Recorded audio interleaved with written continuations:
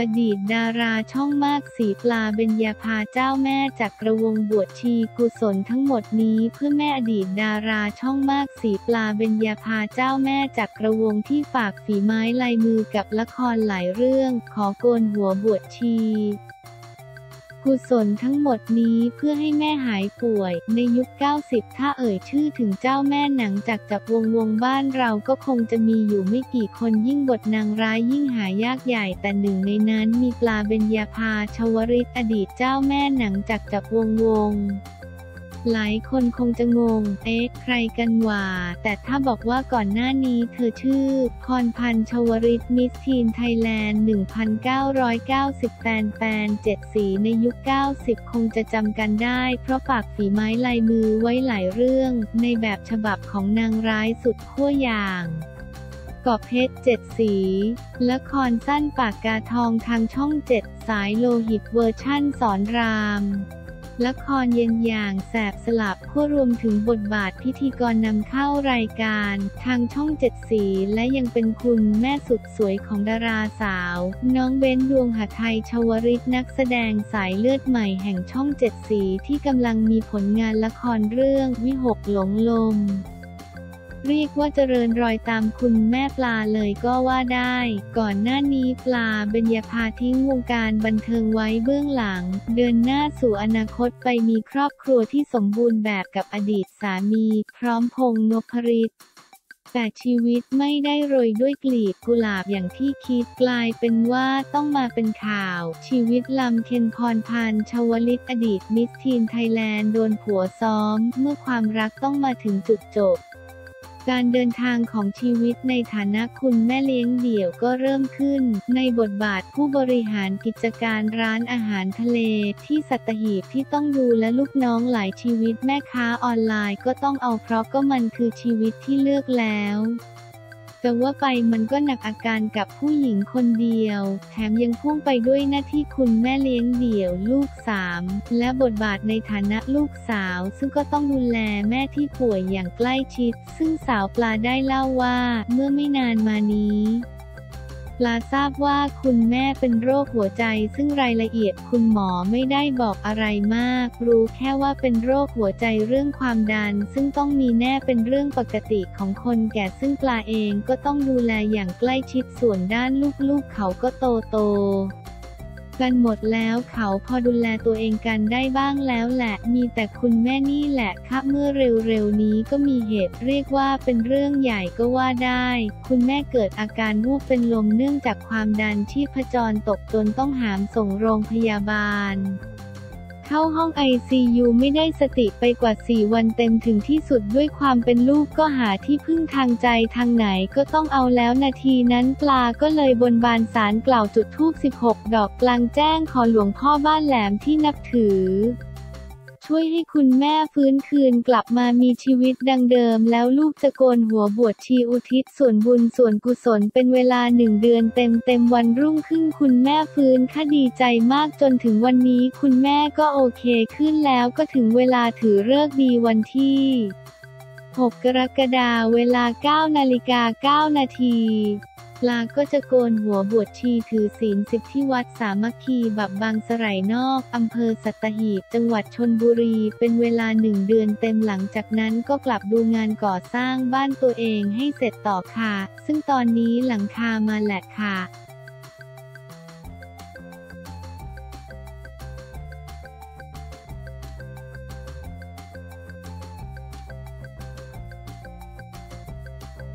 แห่ขอเลขเด็ดกล้วยออกกลางต้นเจ้าของเผยเหตุการณ์ชวนขนลุกจนชาวบ้านต้องมาถามวันที่ 14 สิงหาคม 65 ผู้สื่อข่าวได้รับแจ้งว่าได้มีผู้ใช้เฟซบุ๊กรายหนึ่ง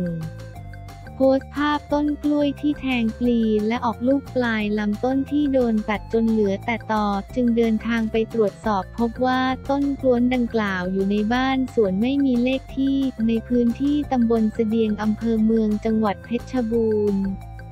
ในพื้นที่ปลูกต้นไม้และผลไม้หลาย ๆ ชนิดกำลังเจริญเติบโต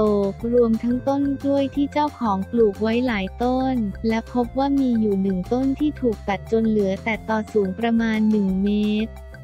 ปลายต่อที่ตัดมีปลีกกล้วยแทงออกมาพร้อมทั้งออกลูกมาจำนวนหนึ่ง นายทวัชชัยวรเตชาอายุ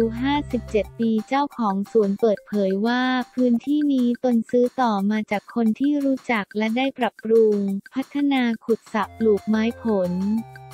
ปลูกต้นกล้วยและปลูกบ้านเพื่อเอาไว้เป็นที่พักผ่อนในช่วงบ้านปลายชีวิตเมื่อวันก่อนขณะที่ตนกำลังตัดหญ้าอยู่นั้นได้สังเกตเห็นต้นกล้วยต้นหนึ่งที่ตนได้ตัดทิ้งจนเหลือแต่ลำต้นสูงประมาณ 1 เมตร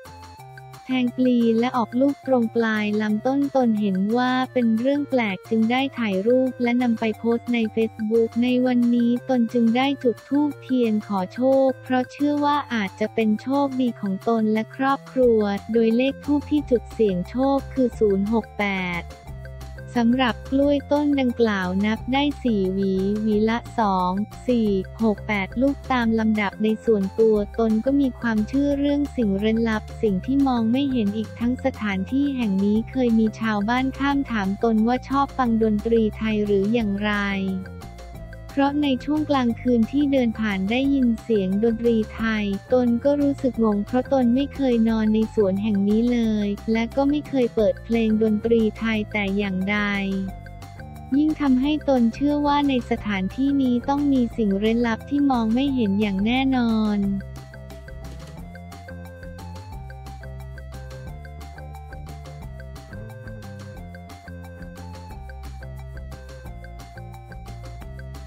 วีวิโอเลตฝืนไม่ไหว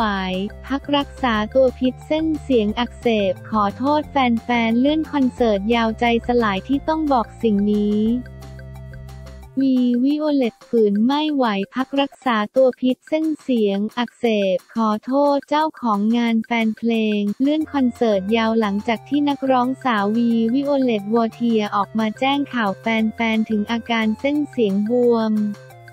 สาเหตุจากใช้เสียงเยอะในช่วงอาทิตย์ที่ผ่านมา รวมถึงฝืนใช้เสียงผิดวิธีจนทำให้เสียงแหบ ล่าสุดดูเหมือนว่าอาการจะไม่ดีขึ้น เจ้าตัวจึงตัดสินใจพักรักษาตัวตามคำแนะนำของคุณหมอ พร้อมออกมาขอโทษแฟนๆ ที่ต้องเลื่อนคอนเสิร์ตทั้งหมดออกไป ทั้งนี้สาววีได้โพสต์ภาพข้อความโดยมีเนื้อหาว่า ขอโทษชาวลำปางตากและพิษณุโลกมากๆนะคะงานในคืนวันที่ 15-16-17 สิงหาคมนี้จำเป็นจะต้องเลื่อนออกไปก่อน ไม่อยากให้เกิดสิ่งนี้ขึ้นเลย เนื่องจากอาทิตย์ที่ผ่านมาเส้นเสียงวีอักเสบ และหมอได้สั่งให้หยุดพักงานในตอนแรกหมอก็แนะนำให้พักแล้ว แต่วีเองก็รู้สึกเป็นหน้าที่ของวีที่จะไปเจอทุกคน อยากจะเจอทุกคน และไม่อยากทำให้แฟนๆผิดหวังเลยฉีดยาและกินยาที่หมอสั่งให้ และร้อง save save เสียงไปก่อนคิดเองว่าน่าจะไหวแต่หลังจากที่วีฝืนร้องไปสามงานวีกลับมาหาหมอและหมอเองก็บอกอาการไม่ได้ดีขึ้น และสั่งให้พักงานเถอะ